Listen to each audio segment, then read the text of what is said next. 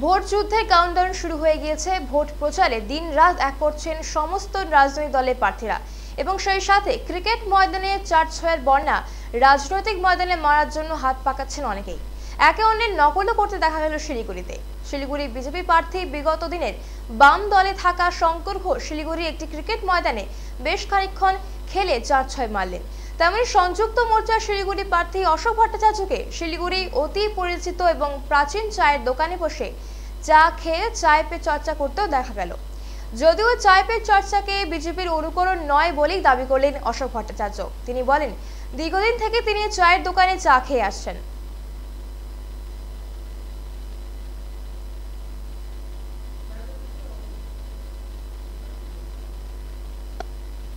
চর্চা কোথায় করলাম আমি চাই খেতে এলাম, এখানে প্রোগ্রাম আছে তাই।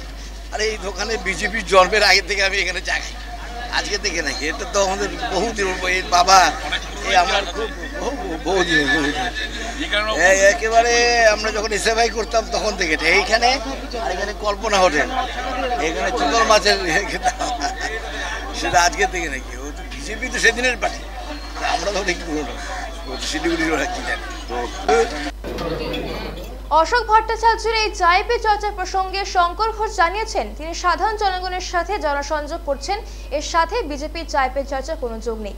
এদিন তিনি আরও বলেন তার শুধুমাত্র গুরু অশোক ভট্টাচার্যই নন প্রতিটি মানুষই তার গুরু যার কাছ থেকে শিক্ষা পাওয়া যায় তারা প্রত্যেকেই তার গুরু।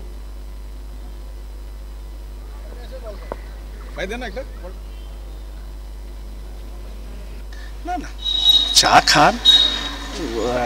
সেই চা খাওয়া নিয়ে আপনারা হয়তো এরকম করে ভাবছেন আমাদের আমি সব সময় একটা কথা বলি খেলার মাঠে আমি খেলি রাজনীতি করি না। রাজনীতির মাঠে আমি রাজনীতি করি খেলি না। এখন তো সবাই বলছে রাজনীতির মাঠেও খেলা হবে। সেটা যাদের যাদের ভার্সন আমি আমার ভার্সনটুকু বলতে পারি।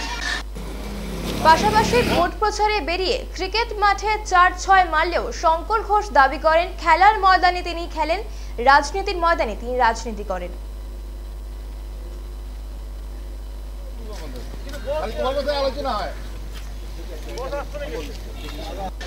প্রথমে তো আমি বলি আমি অনেক জায়গায় যাই সব জায়গায় প্রেস থাকে না।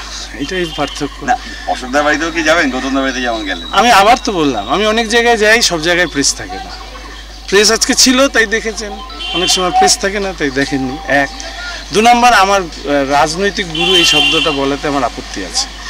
প্রথম কথা আমি যখন বাম রাজনীতিতে প্রবেশ করি, আমাকে কেউ চিনত না। আমি একটা ঘটনার প্রতিবাদ করতে গিয়ে অন্যের আসে। এবং দু হাজার আগে কেউ আমাকে, আপনি যার কথা বলছেন অশোকদার অশোকদার পাশে কেউ আগে দেখানি দু হাজার এগারো অব্দি বাম সরকার চলাকালীন, অশোকদার পাশে আমি কোনোদিন ছিলাম না।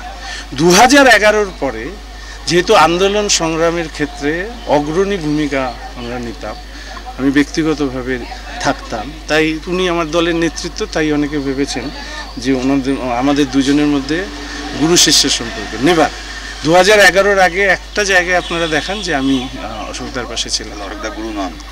আমার গুরু আপনিও। আপনার আমার গুরু আপনিও। আমার গুরু আপনিও এবং একজন রিক্সা চালক থেকে অশোকদা সবাই আমার গুরু কারণ যার কাছ থেকে কিছু আহরণ করি তিনিই আমার গুরু। রবিবারে ডাবগ্রাম ফুলবাড়ি কেন্দ্রে নির্বাচনী প্রচারে গৌতম দেব। অন্যান্য রাজনৈতিক দলের মতোই শিলিগুড়ির শহর সংলগ্ন ডাবগাড়ি ফুলবাড়ি কেন্দ্র প্রচারে বার হয়ে স্থানীয়দের কাছে ভোটের আবেদন জানাচ্ছেন তৃণমূল কংগ্রেসের প্রার্থী গৌতম দেব। এদের শঙ্কর ঘোষ বাড়িতে গিয়ে দেখা করে গৌতম দেবের সাথে। গৌতম দেব জানিয়েছেন, দীর্ঘক্ষণ একটি রাজনৈতিক মতাদর্শ মেনে ভিন্ন রাজনৈতিক দলে যোগ দেওয়া অনেকটা মর্মাহত করেছে তাকে।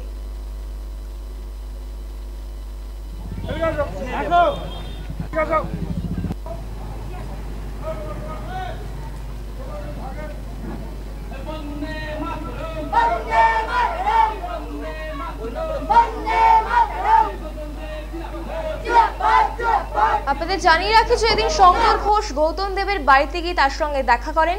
গৌতম দেব জানিয়েছেন যে দীর্ঘক্ষণ একটি রাজনৈতিক মতাদর্শ মেনে ভিন্ন রাজনৈতিক দলে যোগ দেওয়া অনেকটাই মর্মাহত করেছে তাকে।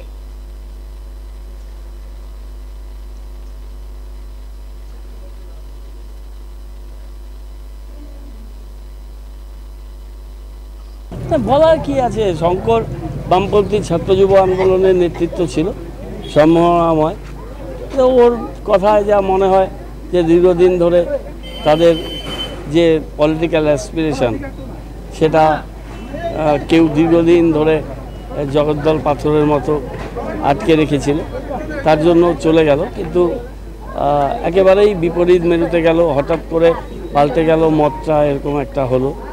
আমি বললাম যে নবরূপে দেখছি। তো এটা প্রত্যাশিত ছিল না একটা বামপন্থী ছাত্র যুব আন্দোলনের নেতৃত্ব যে লেখাপড়া জানে, লেখাপড়া করেছে এবং লেখাপড়া করেই পলিটিক্স করে, আমি বিশ্বাস করি। সেখানে নীতিচ্যুত হওয়াটা আমাকে বেদনা হতে করেছে। পলিটিক্স আসবে, ভোট হবে, ভোট যাবে, এটা বড় বিষয় না। এটুকুন কিন্তু বাড়িতে এসছে, সৌজন্যে পুরনো কথাবার্তা হলো। কারণ আমি কলেজে ছাত্র যুব আন্দোলন থেকে এসেছি, ওরা আমার থেকে অনেক জুনিয়র কথাবার্তা হলো সৌজন্য হলো চা খেলো। বলার এদিন শঙ্কর ঘোষ ভোট প্রচারে বেরিয়ে ডাবগাম ফুলবাড়ি কেন্দ্রে তৃণমূল প্রার্থী গৌতম দেবের সঙ্গে তার দেখা করেন তার বাড়িতে যান। শঙ্কর ঘোষের বক্তব্য ভোট প্রচারের জন্য নয় এদিক দিয়ে যাচ্ছিলেন তাই গৌতম দেবের সাথে দেখা করে তার কুশল জানতে চাওয়া। প্রচারে যায়নি তো এদিক দিয়ে হাঁটছিলাম। তো গৌতমদার বাড়ি টপকে যাচ্ছি। তো স্বাভাবিকভাবেই আমার মনে হয়েছিল শিলিগুড়ির সিনিয়র লিডার। আমার আমরা দুজনেই এই কলেজের জেনারেল সেক্রেটারি ছিলাম। গৌতমদার অনেক পরে আমি জেনারেল সেক্রেটারি হয়েছি। ফলে স্বাভাবিকভাবে ওদিক দিয়ে যাওয়ার সময় ওদিক দিয়ে গেলাম। আর ছোটোবেলায় তো আমি এখানেই বেশ সময়টা কাটাতাম। বললাম যে তোমার শরীর খারাপ হওয়ার পরে তুমি কি কি নতুন সংযোজন করছ? গান করছ বই লিখছো কিনা? যোগব্যায়াম কীভাবে করছ?